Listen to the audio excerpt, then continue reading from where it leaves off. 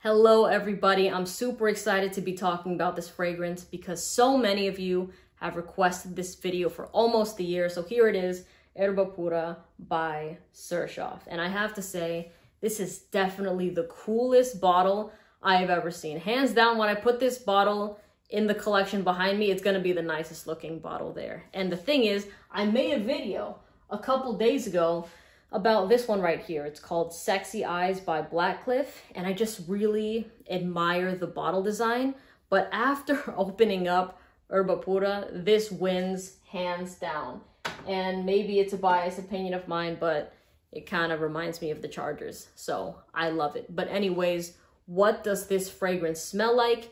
It smells like a fruity, sweet, yet synthetic sort of fragrance. And I'll get into that, but just real quick, I'll put a discount link for this scent in the description box in case you want to try to get a sample or a bottle of it wherever you are because it's global shipping. But anyways, this fragrance right here opens up with a little bit of citrus that dies down fairly quickly. Like you'll smell some lime, maybe some bergamot, but what really is the star of this fragrance is just that fruity concoction. Now, to me, this smells kind of similar to Kirke by Tiziana Terenzi. That was the very first fragrance that popped into my mind when I smelled this scent. I was like, this is familiar. Oh, I've smelled this on my girlfriend before, you know? So if you like fragrances in that nature, then you're definitely gonna love Erba Pura. Now, in the dry down of this fragrance, that's when the sweetness really starts to rally and it starts to pick up. And to me, I did smell some musk, which is kind of what made it smell a little bit powdery to my nose, honestly. But then there's also some nice vanilla in this fragrance as well. And even though this is a very dominant fruity fragrance, it is not something I would suggest you wear on a hot day. Even if it's fruity, this is a cold weather or a nighttime fragrance. I would say it kind of goes along the lines of Delina Exclusive by Parfums de Marly, not in the way that they smell the same, but the fact that they have that dominant fruity note, but the sweetness really takes over. So it turns them more into like sexy nighttime fragrances. So if you want to wear that scent that has that head turning reaction, but it's still fun and lively, you know, if like it, then give this one a try, most definitely, because it has that mass appeal, but I will say, this is a heads up for anybody that is sensitive to fragrance. I would maybe say instead of blind buying, get a sample of it because this thing was even intense for me. I did about one spray of this fragrance on my arm and I kid you not, it was still on my arm 10 hours later. And I tried scrubbing it off because this wasn't my favorite thing to wear only because it got a bit too overwhelming for me. So I wanted the scent to kind of die down a little bit. And I was like scrubbing the inside of my elbow with like Dove soap, hoping that it would come off.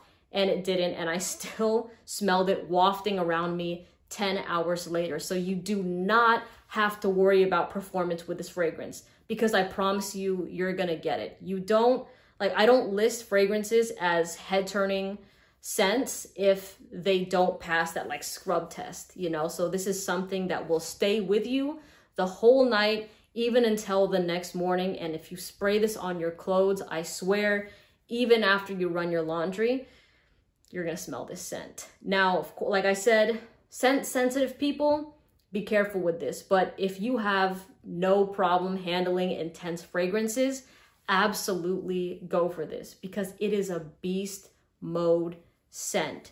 Now, if you're talking about, if you want my opinion on whether or not I like this, I would much rather kind of prefer this fragrance on somebody else, maybe in passing, or maybe just one spray of it, because this does linger in the room, but it's also not my particular favorite fragrance. You know, I do love fruity scents, but this one smells just a little bit um, too synthetic for my loving. I'm not saying my liking because I do like this, but I just don't love it as much. I did find myself throughout the day being like, okay, I notice it.